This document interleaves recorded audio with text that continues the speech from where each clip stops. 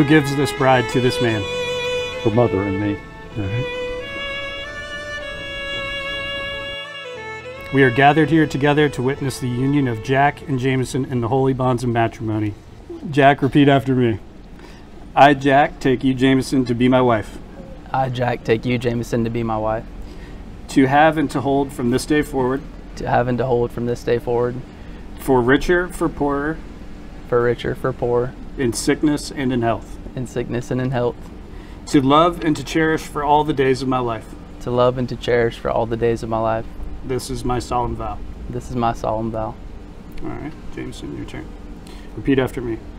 I, Jameson, take you, Jack, to be my husband, I, Jameson, take you, Jack, to be my husband, to have and to hold for this day forward, to have and to hold to, for this day forward, for richer, for poorer, for richer or for poorer, in sickness and in health, in sickness and in health, to love and to cherish for all the days of my life. to love and to cherish for all the days of my life. This is my solemn vow. This is my solemn vow.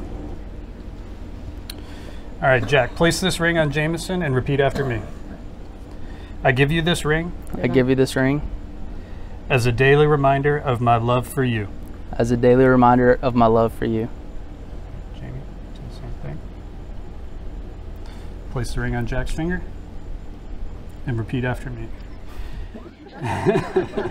I give you this ring I give you this ring as a daily reminder of my love for you. as a daily reminder of my love for you. Since you two have consented together in the presence of this company, I, by the virtue of authority vested in me by the state of South Carolina, pronounce you husband and wife.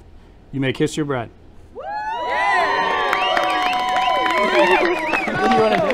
Fine, we didn't practice. Ladies and gentlemen, it gives me great pleasure to introduce you to, for the first time, Mr. and Mrs. Jack Rogers.